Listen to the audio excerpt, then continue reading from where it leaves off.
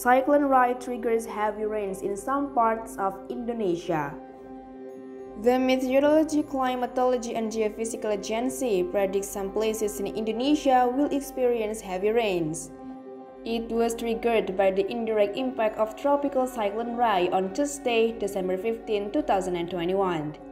Since Wednesday, there is a tropical cyclone Rai in the East Pacific Ocean of the Philippines with a low pressure of 970 millibars and a maximum wind speed of 65 knots.